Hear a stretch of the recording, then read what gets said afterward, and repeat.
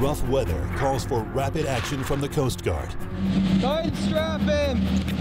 The boat crew carves a path through furious surf to help one of their own. The winds were blowing, you know, 25 to 35 knots, and the seas were, you know, 14 to 16 feet in the main channel. Air Station Astoria scales mountains in search of a gravely injured ice climber. We would always want an exit plan because worst case scenario, we don't want to end up crashing into a mountain. When a young man teeters at the edge of a cliff, a Coast Guard rescuer takes on the ultimate risk. It's a little unnerving being a flight mechanic, seeing your rescue swimmer walking up a cliff, wondering, you know, okay, well, what happens if he falls or he gets hurt?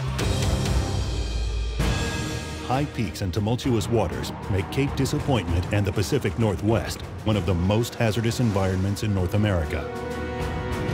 At the heart of it all is the Columbia River Bar. This deadly area has taken countless vessels and claimed hundreds of lives. In the air and on the sea, brave men and women of the U.S. Coast Guard risk their own safety so that others may live. In a place known as the Graveyard of the Pacific.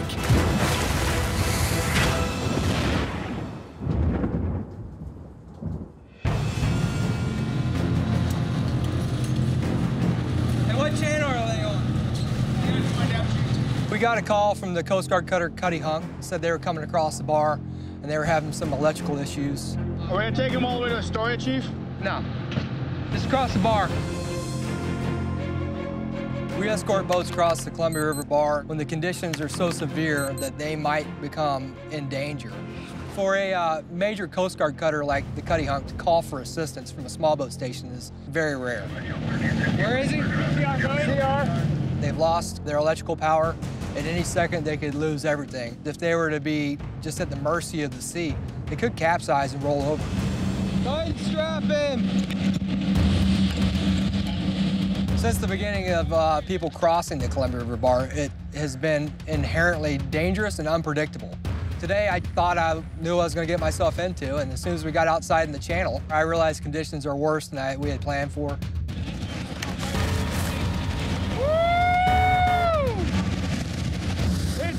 It's, windy out. The winds were blowing, you know, 25 to 35 knots, and the seas were, you know, 14 to 16 feet in the main channel. And we're making about 20 knots. It feels about 50 miles per hour for the wind, and then it's raining, so the rain feels like you're getting small pebbles thrown at your face. It's very unpleasant.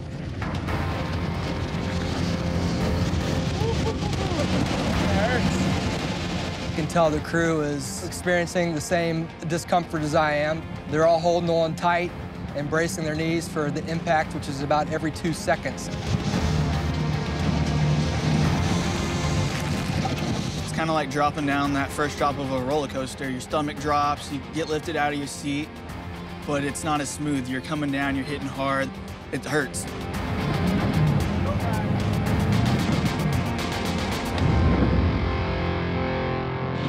There's a Cuttyhunk. Cuddy Hunk 248, we're up here off your bow off of uh, number six here. Our plan is to just come around, swing off your stern, and, and escort you in. If uh, you have any difficulties, we'll come alongside over. Roger, Roger. My biggest fear for the Cuttyhunk is that it's going to lose power. I know that the captain of the ship can handle these conditions as long as his ship remains running. That's better. We took a lot of weather coming out. Uh, once we get turned around behind them, the seas are on our stern, but now it's a whole different set of problems. Now on my stern, Clark. All right. On the starboard. Following seas are always more difficult to negotiate as a boat operator. One wave will look like it's going to stand up and then will let off and you'll let your guard down for a second and then look back behind you and it's doubled up and now it's twice as big and coming for you and it's right on your stern. Build on your stern.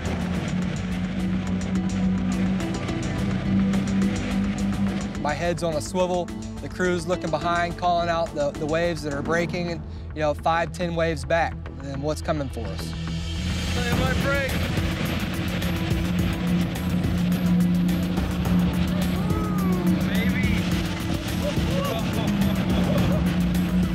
As the bigger swell started to come through, and we're looking at almost 16 foot waves at this point, the Cuttyhunk started to surf down the face of some of the waves. And it's not something you want to do. It could turn into a bad situation quick. Trying to break them down as much as I can. In order to help with the situation, we created a series of S-turns and basically put our boat in the path of the breaking waves and the bigger swell to help break them down. Building the starboard. Low side of port.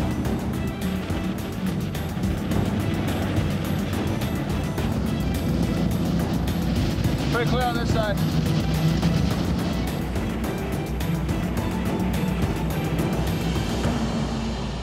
We got the Cuttyhunk to a safe area. It was just a big sigh of relief among the crew.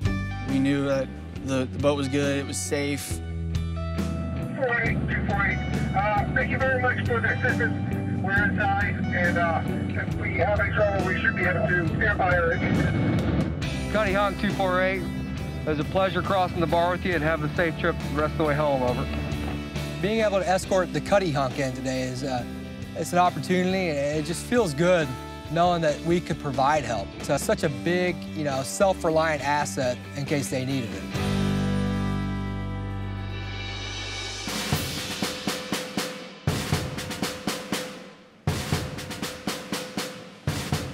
Permission on board, please, sir. Come on in. Welcome aboard. Scott McGrew. Nice to meet you. Hi.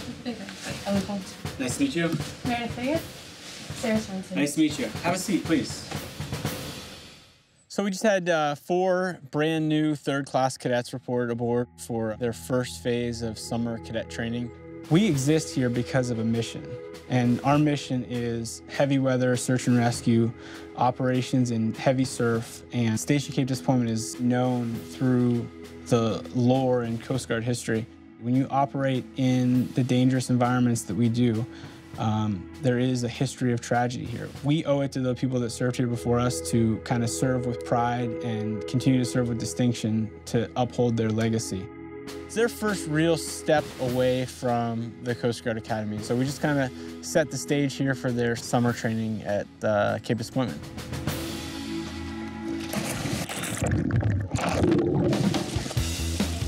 Hi, my name's Jacqueline Cabico. I go to the United States Coast Guard Academy, and I'm here on my third class summer assignment. Coming to the station was kind of like a once in a lifetime experience for all of us. What if you guys are out in the middle of anywhere? Should you be swimming at all? No. No. Minimize movement. Save your body heat. So let's get together. We'll start the pyro portion of our exercise. What's step one? Put in a safe direction. Yep, point the flares in a safe direction. We are testing out a bunch of different kinds of flares.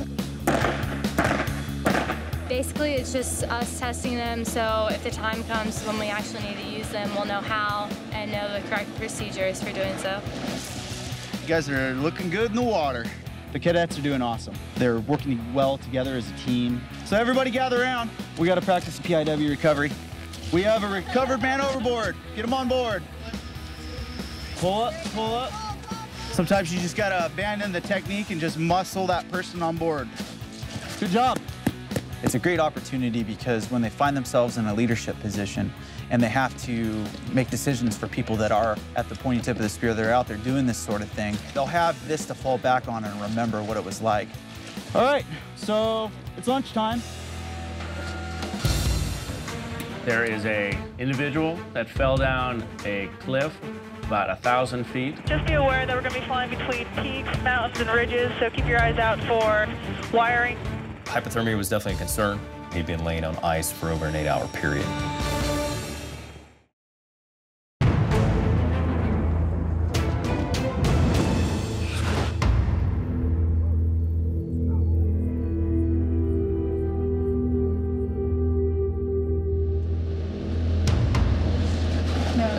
LZ at ski area. I just talked to the sheriff. They'll have a backup ground party moving toward the individual as well. It was around dinner time, and we got a call from the command center saying that we had a skier up in Snoqualmie Pass who fell down the mountain. And we got a report that he had several broken bones, a concussion, and he had early onset hypothermia. We're going to here. Okay. This is, I mean, it's a matter of eight miles. When we do any sort of operations in the mountains, it takes a little extra scrutiny. While we do train we don't spend the majority of our time there. The mountain ridge that this gentleman fell off of was just over 6,000 feet. We try to scrutinize some maps to see what the terrain is like because that does alter how much power we're going to need and what our flyout capabilities are should we have any emergency. Our plan is to fly up to the mountains towards the Snoqualmie Pass. And then um, pick our way up the ridge, do the hoist, land at the Snoqualmie ski area where the sheriff is corralling everyone to have some EMS waiting. Once we take a look at the patient, if his particular situation isn't good, we may have to stabilize him and kind of work on the ground a little bit as well. So is your plan to stay up there, go land? Landing would be the ideal. So if, if we if we have an obvious like, oh no, we'll just land right there, then that's what we'll do. If we have to orbit, then we'll orbit. All right, so weather, we're gonna experience some low-lying fog that we're gonna be over during the transit. Ready to go, sir. All right, we'll uh, climb in and ride the helicopter up.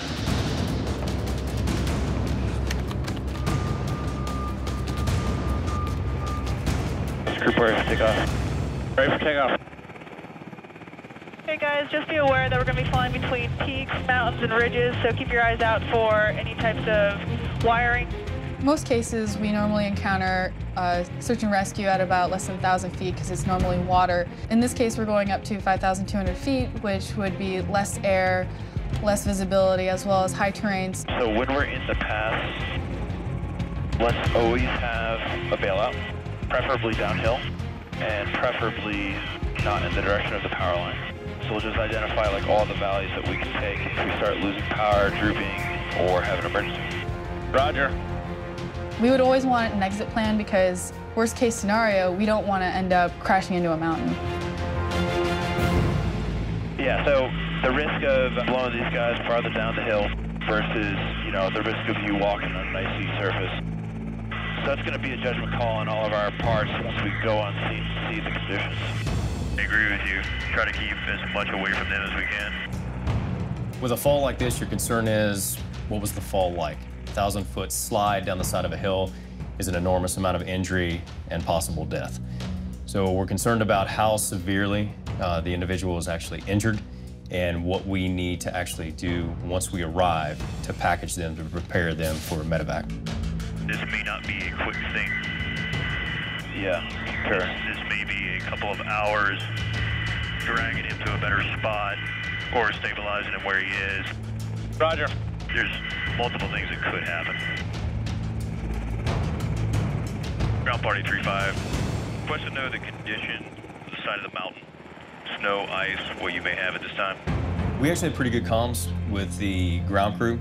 Talking with them, one of the big concerns was there was a lot of ice. Uh, they were all wearing crampons. I had mine with me, so I ended up actually putting those on. I'm gonna start breaking the litter and setting it up. Sounds good. When we arrived on scene, we're in an area that is different for us. It's one that we do not normally operate in. And we're also trying to find these folks, and they're kind of set in just under a peak. Headlamp at uh, at four o'clock. Inside.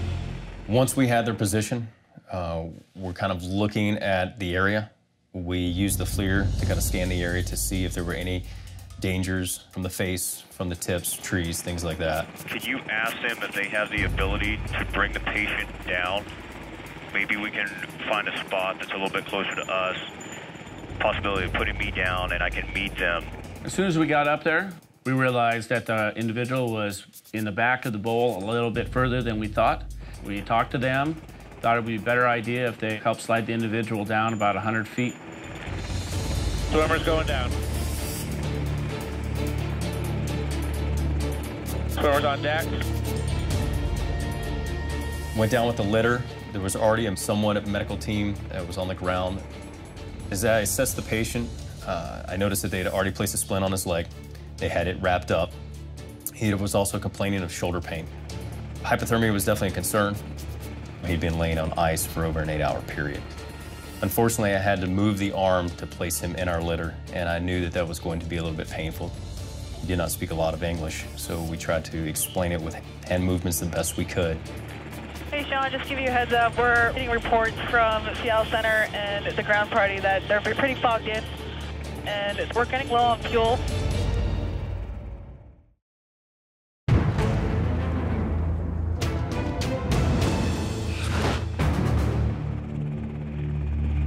Going down.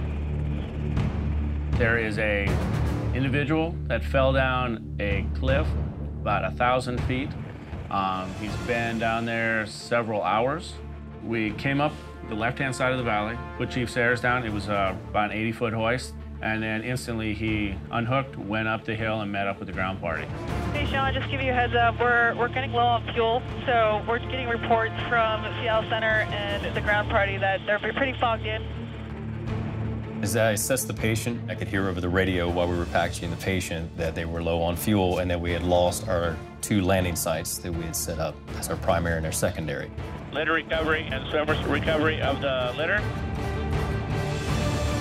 Working under that type of a time constraint and then being on an area that's that slick, you have to pay attention to what you're doing to make sure that the patient is placed into the equipment correctly. And at the same time, make sure you don't lose any of your equipment or your footing sliding down the hill. Litter's coming up. You know, the guy's cold, he's hurt. So bringing him up, I try to make it as comfortable of a situation as I can for him. And litter's in the cabin. We got the individual in the litter into the plane. We came back over and uh, hoisted Chief Sayers back up. Swimmer is, is at the cabin door. Hoist the plate. Sector Puget Sound, request if any further information on places to land. Over. I was handling all the radios, trying to find a place for us to land because I found out that the, the area of the landing zone was, was fogged in. Coast Guard Rescue 6035. We're running low on fuel. Request radar vectors for final. We had so much chaos going on that all four crew members were working to tend to the patient, organize the cabin. I'm flying away, Adriana's on the radio, talking to three different people, trying to figure out what has the best weather to take this patient to. Hey guys, just give you a heads up, we're headed toward Boeing. ETA, 15 minutes. Roger, man. Roger. We determined that Boeing Field was our best option because they have a lot of lights that we would be able to see once we get down to a certain altitude. Trooper ready for approach. Coming up on 700 feet. He's kind of in and out. You hand me a blanket real quick. It was a huge relief to be able to land safely and deliver the survivor to level one trauma care. Coast Guard helicopter 6013, clear the active, taxiing Alpha 2 to the ramp. This case was very dynamic and very difficult considering the weather, the moving parts that we had, and how everything was changing as the flight went on. Go offline. It's a great feeling to know that in his 11th hour in his time of need that he absolutely needed someone and we were able to be there to help him out.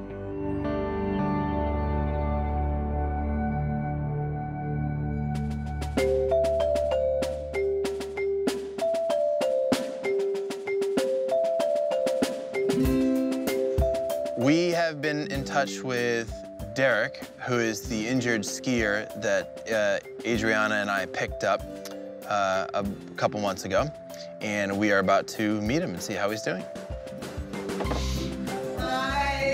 Thank you. Thank you so very much. Hi, yes. Thank you. Nice to meet you. Yeah, yeah, you're very welcome. Yeah, thanks a lot. You guys saved my brother's life. 안녕하세요. Thank you so much. Thank nice to meet you. It's amazing. How are you doing? Uh, two rib bone is broken, collarbone broken, two screws on the ankle. What happened? 아우 나 한국말로 할게. You want to do Korean? 어, 천천히 말하세요. 한국말 너무 잘하시네. 어, 조금, 조금만 알아요. Oh my gosh! How you know the Korean? 엄마, 엄마는 한국 사람이에요. Yes, oh my goodness. 사진이 있어 전화기에. 사진 있어? 어. He said he have the picture. 제 이름은 데릭 킴입니다. 저는 어, 타코마에 살고 있고 떨어지면서 들었던 생각은 눈앞으로 지나가는 그 얼음판을 보면서 그러니까 다리만 안 다치게 어떻게 서보자, 스탑을 해보자 라는 생각을 하고 있었죠. 아무튼 막 바람이 막 내려치니까 추운 거밖에 생각이 안 나. 눈을 뜨고 살짝 본 거하고. 뭐 말할 필요도 없이 너무너무 고맙고 정말로 이렇게 다른 사람의 생명을 구하면서 그런 일을 한다는 것 자체가 너무 감사한 일이고 내 아이들이 만약에 커서 그런 일을 하겠다고 한다면 적극적으로 어, 밀어주고 싶고 그렇지. Okay, guys, all I got is person to water. Got a call about a PIW. Uh, we're going to get there on scene as quick as we can. Just keep an eye on backside. Roger that. Really worried about them uh, maybe getting beat up against the rocks, getting carried out in the rip current.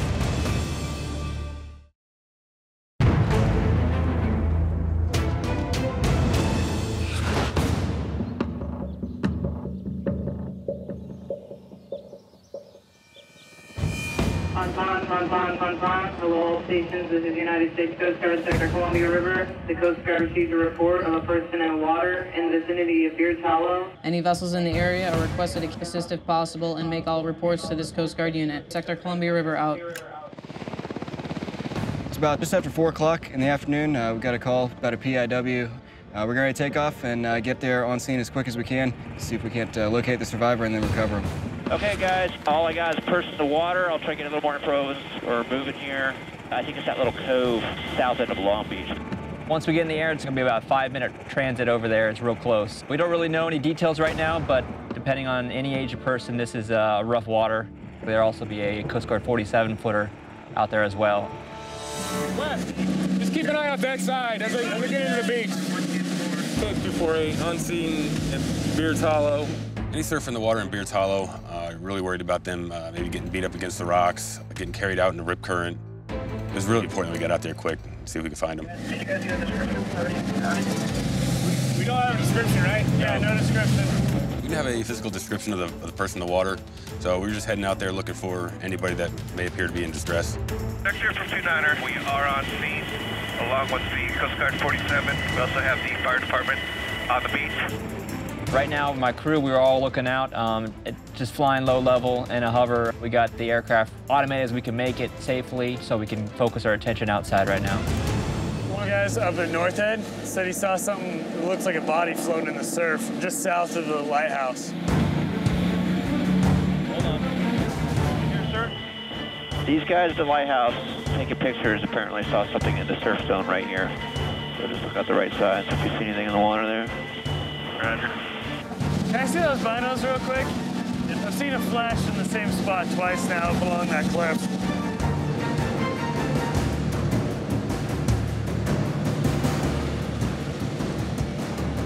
Did you see anything? I'm not seeing anything. I didn't see anything. Searching near surf can be difficult because the waves breaking on the rocks. You think you see splashing, you think that could be a person. Such to play tr- tricks on your eyes. Pacific County Beach Patrol. Over. Do we have a time they went in the water? Okay, copy that. Yeah, we're trying to get some info. Um, we got down here. The RP wanted to remain anonymous, the person who called in the rescue. When we tried to return the phone call, he hung up on dispatch and is refusing to answer phone calls since. We don't know how credible it is. Sounds kind of hokey. Well, it's an anonymous caller. Why are you anonymous? So he went off right here? Have you? Did he have his board with him?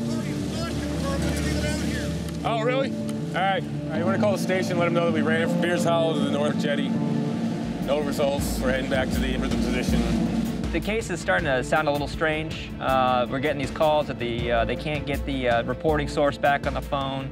No one else can confirm that they saw anyone go in. No one's reported as missing. Sector Columbia River, Coast Guard 6029. We received word from Pacific County that the reporting source was anonymous and could not be re-reached. Over. KC also has two people on shore. Uh, they've been trying to get a hold of the person, but they will not answer their phone. Roger, just be advised, we have searched several times with Egress. United Sector, Roger, stand by.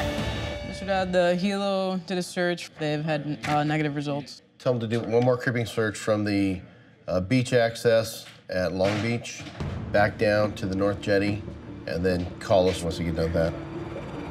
29 sector, we have that you do one more creeping uh, line search from Long Beach beach access down to the North Jetty. Got it. Looks like they're packing up over there.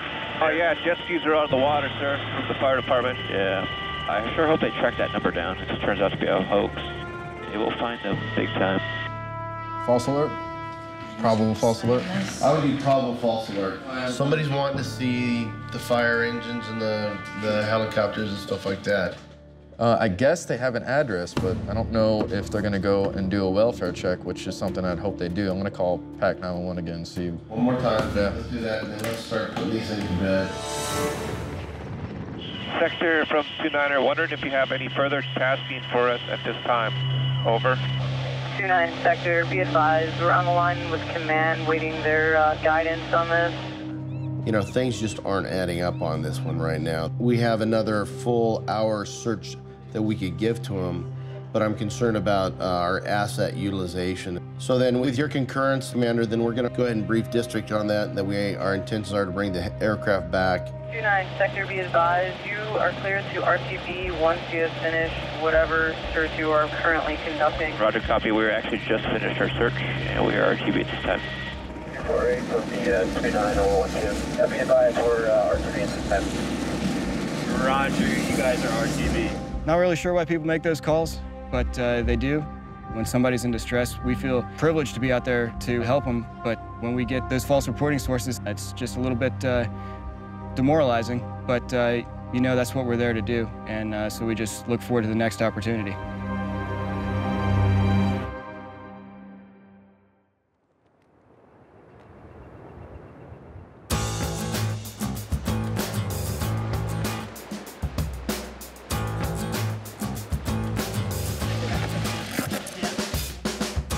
Here on the flanks of Mount Hood at the Clackamas River for a station morale event. We're going to do some uh, whitewater rafting. We also have the, the just great opportunity to bring the four cadets that are visiting us this summer from the Coast Guard Academy along on this morale trip. Training at Cape Disappointment is definitely a whole new experience for us. Doing stuff like this with the station is another new thing to try.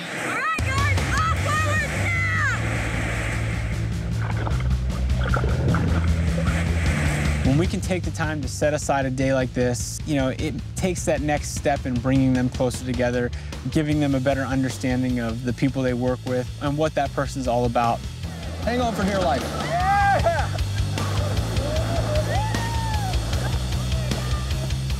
It was an amazing feeling to be able to go rafting, especially with the crew since we didn't really know the crew that well, but we quickly learned that they were great people.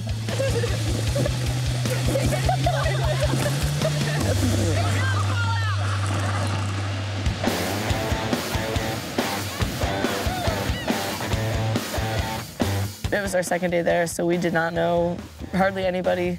Kind of gives you your first sea story uh, to share with the crew, and so you already you already have that bond. You already have a couple jokes. It's just it gives you something to break the ice uh, right away.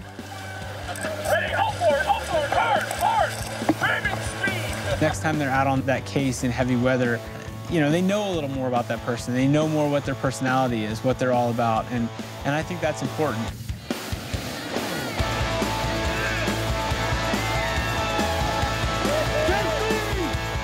Overall, from the rafting trip, I can say that we really bonded. I was just really glad that the morale trip happened, especially so early in our time here.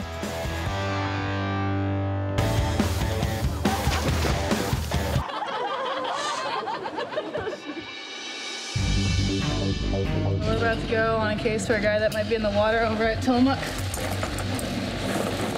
He had called his girlfriend, said that he was going to jump off a cliff or swim into the ocean. If their mission is to kill themselves, it, it's hard to know what you're going to find. The potential is for a person to be either on the water or on the rocks, deceased or badly injured. Sector 13, be advised, we're on scene.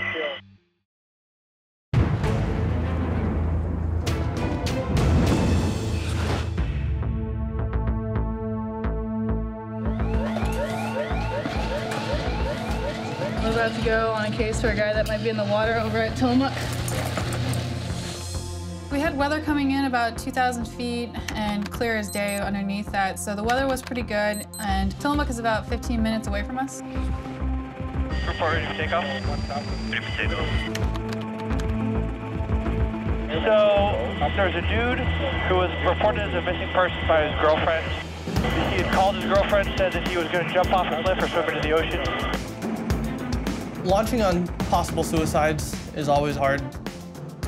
You have hope that they survive, but if their mission is to kill themselves, it, it's hard to know what you're going to find.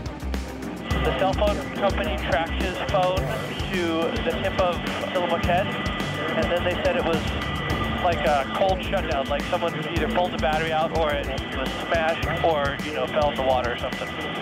So the potential is for a person to be either on the water or on the rocks deceased or badly injured. Sector 1-3, be advised we're on scene. When we arrived on scene, we searched the shoreline, try and see if we could find him on a cliff or near the shore and possibly close to the shore. Get a little bit closer in here if you don't mind. Give uh, Justin a chance to look out the door. We made several passes in the search area. You know, depending upon our orientation to the cliff, I was looking out the right side out the cabin door, and the swimmer, Chris Fisher, was looking out out the left side. So I think this is the highest part of the trail here, that there's a cloud sitting over the top of this. Yeah, it's right up in the trees. And he could have just got pissed and chucked his cell phone off. Yeah, a lot of possibilities. If we looked at this area down here, what do you think about going a little higher and looking up there a little bit further on the on the hill without flying up into those clouds? I'd be good with that. Sector Columbia River 6013. Be advised, we are leading. Hey, oh, hey, I got uh, uh, Mark, Mark, Mark. Got it. On the left-hand side, on the waving hand. Over there on the cliff.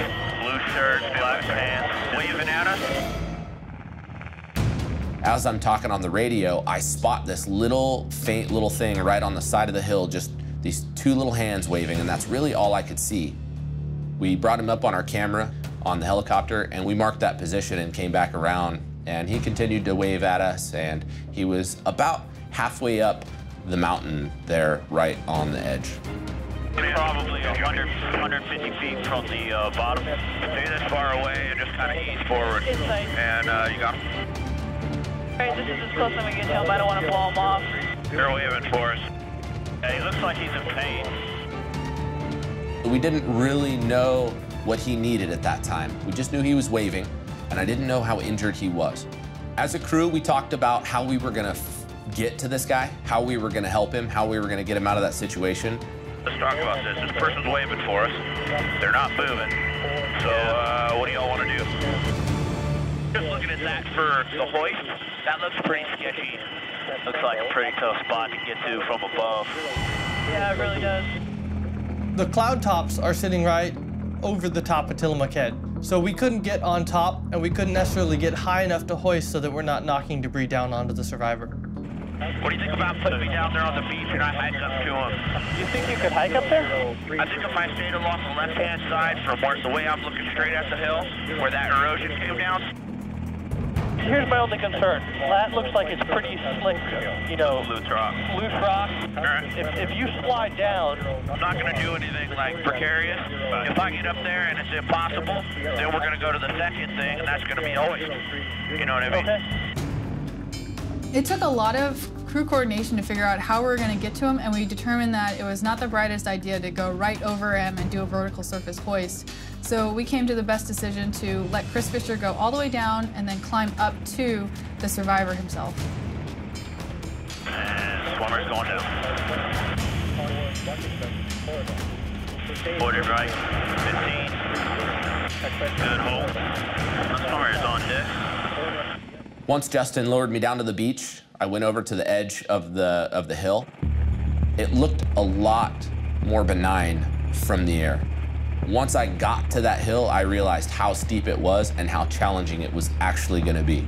I kind of had a path planned out from the helicopter, and so I started up that hill. Some of the parts were impassable. They were just literally vertical walls. Swimmer from the 1-3. Chicago. Hey, if you get in a little trouble with your footing, if you stay to the left, it looks like there's a lot of uh, shrubbery and stuff. You might be able to work your way up to them and then make a 90 degree turn. You know I love you, Justin, because you're always looking out. Thanks, buddy. No problem. It's a little unnerving being a flight mechanic, seeing your rescue swimmer walking up a cliff, wondering, you know, okay, well, what happens if he falls or he gets hurt?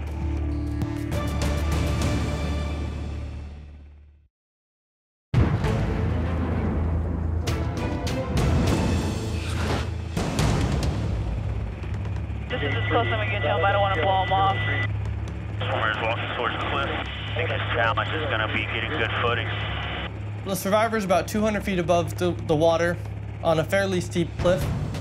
And at this point, we don't know if he's fallen from the top or if he's climbed up from the bottom. Hey, if you get in a little trouble with your footing, if you stay to the left, it looks like there's a lot of uh, shrubbery and stuff. You might be able to work your way up to him and then make a 90 degree turn. Thanks, buddy. This was a person that was up kind of on a slope and there was trees all around him to where we couldn't really pull into a hover and hoist me down to him. I actually had to climb to this guy. Is he walking in the falling rock? California. Uh, he kicked one, he's kicking a couple down. I think he's pretty smart about that kind of stuff. I don't think he'll put himself in a bad spot. Looks like he's at survivor.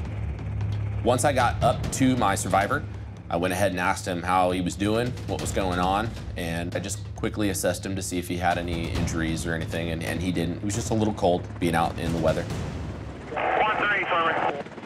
Swimmer 1-3, go ahead. Got to the uh, survivor. He doesn't have any injuries. We're going to obviously assume a little bit of risk climbing down here. I have mountaineering boots. He's got Nikes. So it's going to take a little while. There was no way for me to hoist him out of that area, so we had to climb back down. That was kind of a heavy decision because I knew once he was with me, I got to get him out of there safely. Like nothing can happen to this guy. Now I got to protect him no matter what. And it was going to be a difficult climb down. Sector 1-3, be advised, the swimmer is on scene with the survivor. They are going to try to hike down the hill. It's a little unnerving watching the swimmer on the cliff. Now he's got the survivor that he's responsible for, and it just adds another uh, another problem to the scenario if the survivor were to fall. You know, is he going to take Chris down with him? Now we have two injured people. Whoa, hold on, Buzzy. Oh, man. Good catch.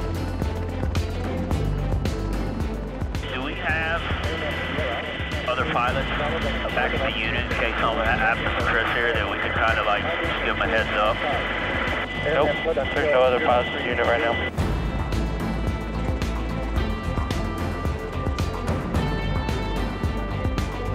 Once we got safely down to the beach, we walked down onto the rocks and called the helicopter in. Swimmer 1-3, go ahead. What do you think about a stop or uh, just one horse? Roger, we can do a sad poop. When we were leaving the beach, we did what we call a sad poo, which is a, a, a hoist that we use this strap I put around the guy's back, and then I hook myself in, and it hoists us both at the same time. Every time they do a hoist, it's putting everybody in a vulnerable situation. So if I can call for a device that only takes one hoist to effectively pick up two people at once, I'll always call for that. And survivor at cabin door. Once the survivor got inside the cabin, he gave me the thumbs up. Uh, he didn't appear to have any injuries or anything like that. He was happy to be off the cliff face for sure. Good job, Chris.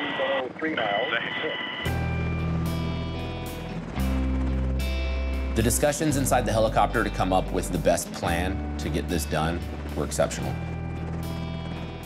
This place definitely has a, a part of my heart, and I really do enjoy operating in the Pacific Northwest. The people up here are extremely friendly, extremely generous, and it's always been my pleasure to help them out as best I can. Ready for approach. Ready for approach. While the survivor and I were coming down the hill, it kind of dawned on me that this was a pretty significant experience in this young man's life. And uh, I wanted to kind of give him a memento to remember what had just happened and something that he can look back upon and kind of think about things with a little more experience. When we landed back at the air station, I handed him a rock from that hill just to remind him about today and you know what we just did and what we just went through together.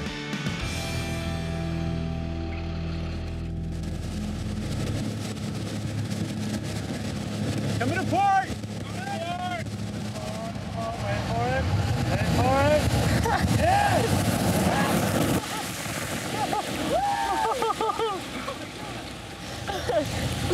Thank you, Chief. Appreciate it. A little bit wet, a little salty. It's the Coast Guard. Today we're getting underway with the cadets from the Coast Guard Academy who we've had on board here all summer. This will be their uh, last time underway, and we're going to take them out and do some surf training before they head back to the Coast Guard Academy.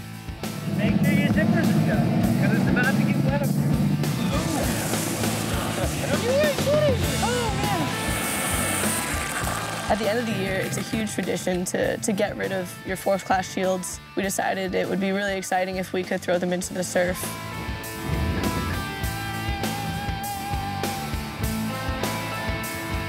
We get to the top of this wave, and, and just as we're cresting, we're told to go, to let go, and we throw them and they just fall right through the surf, and they're gone.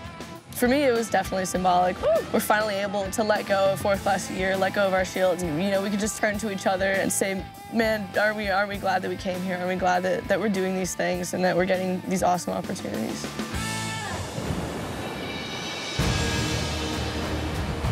Station Cape Disappointment, the Columbia River Bar, the Columbia River itself, the North Pacific Ocean, all those things can humble anybody. Crews understand that every mission they go out on can be the most challenging. They can see weather conditions that uh, they'll never see again in their careers. And it doesn't matter how much risk you manage or how much you recognize the risk, it doesn't make the waves stop. It doesn't make the wind stop blowing. Once you're out there, there's nothing you can do to turn Mother Nature off. So many of the people that you interact with every day in the community go to sea to make their living. We're there to protect them. They're not there alone. We're there to ensure their safety and to be stewards of the environment that they operate in. That's really what being at Station Cape Disappointment is all about. I think it's a great community and it's a, a great place to be a Coast Guardsman.